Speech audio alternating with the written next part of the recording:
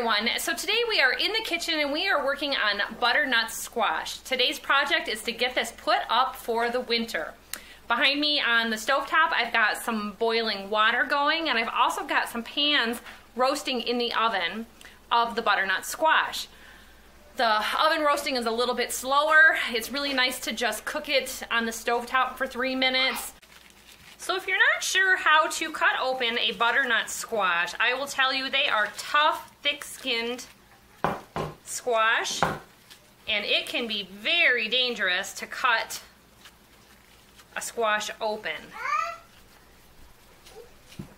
If you've gotten this far, maybe you've watched the other video on how to safely cut open your squash, winter squash, can be very tricky. This includes spaghetti, acorn, winter squash, pumpkins, butternut. These are really great frozen for winter or canned. Uh, purees have to be frozen and cubed can be canned, but you can't can pureed squash.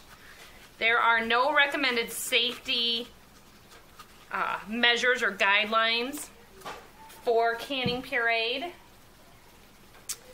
And this is really good added into any kind of um, like spaghetti or lasagna item to sneak it in. If you've ever read um, Jessica Seinfeld's book on sneaking vegetables into your kids' meals, so for time and space, I've also got some going on in the oven.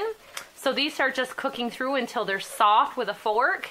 And it's best to do it at about a 400 degree oven. I actually just got this turned on. Let's turn this up. My oven automatically starts out at 350 every single time and then I forget to turn it up. So here I've got going on, see here we've got I'm watching my YouTube today and I'm learning things. Um, we are trying to work on some tomatoes. So I've got a bunch of tomatoes here that are still a day or two out before they're going to be processed.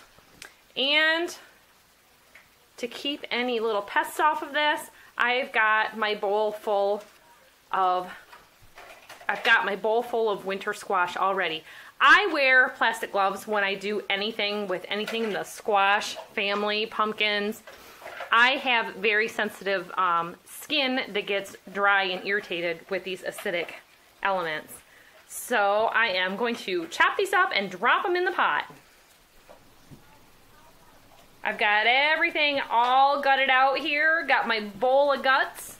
We can sort through these and toast them. We can give them to the chickens. They're great for snacking and full of zinc. Here we've got the pots of hot water going.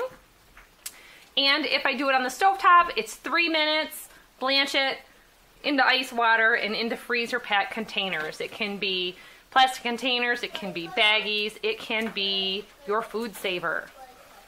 So the reason I am freezing instead of canning, um, I can can the cubed squash, but it's just the time consuming, the labor.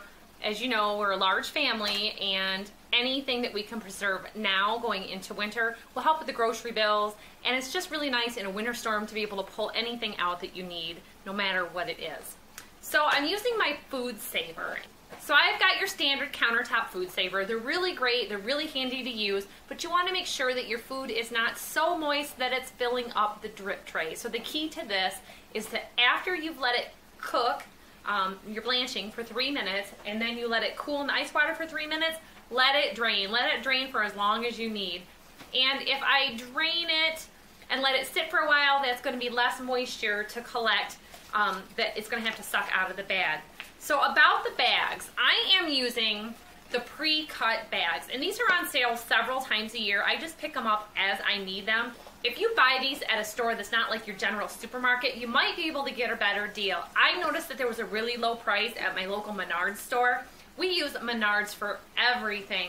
So if I happen to see like a coupon um, deal, we have Meijer locally here in Michigan.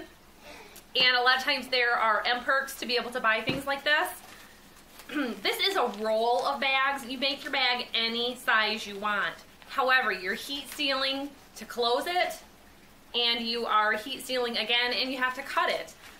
The machine has a built-in cutter, so that's real, just zip it across and it's cut. Very handy. You can get the kids busy and have them cutting it while you're working on other things. I like to freeze them in one to two pound containers. You can use it in soups and stews, anything you want. So I'm using the pre-cut bags, and this is a double package that I had. Um, let's see. This is the quart size container and it will freeze anywhere from one to two pounds. Well, I can do less if I want, but you can fit quite a bit in here. I've got some water splashing behind me, so I'm just gonna turn the heat down real quick.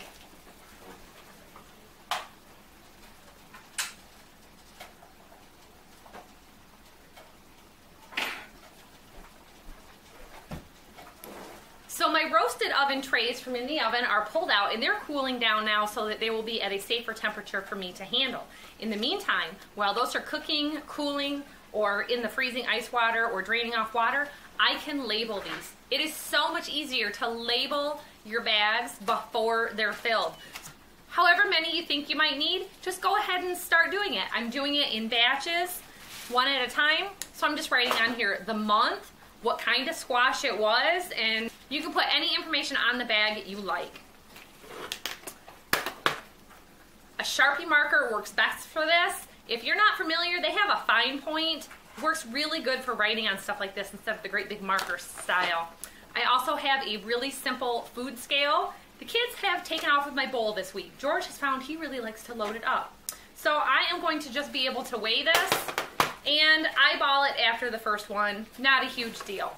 Just make sure that you're zeroing out your scale. If your recipe requires a certain amount, just bag it in whatever size you want and label that, that this is for pie or that this is for soups and stews. However you best like to do it.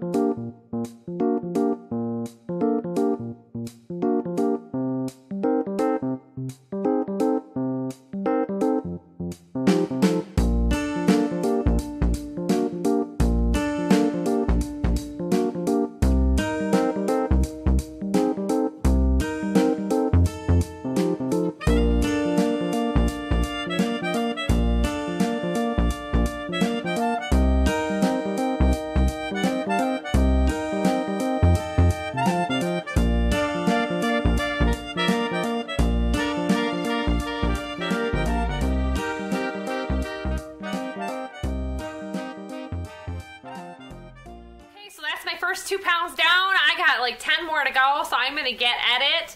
Um, I actually wanted to go back and say, go ahead and use the vegetable peeler to peel your skins off of your butternut squash because I have done this with acorn squash in the past and it was real easy to just peel it off with a fork or when I did pumpkins. This skin is not peeling so easily. The squash that I put in the oven is peeling a lot easier, but it's still kind of hard, and I'm having to use gloves with my paring knife, so that's really hard for my cutting hand. Um, so, yeah, it just would have been easier to maybe use that peeler um, from the start. I just kind of thought maybe it wasn't going to work out so good because of the cylinder shape. Well, sometimes you learn the best way through doing. And when I've done this in the past, it was just easier. I don't know what I did differently. I'm gonna have to go back and look through my video library. So, so the Food Saver, I let them drain really good. It worked superb. And we're just gonna go through and get this all done. So thanks for watching everybody. Preserve your winter bounty. And remember to hit the like button, subscribe, and we'll see you next time. Bye.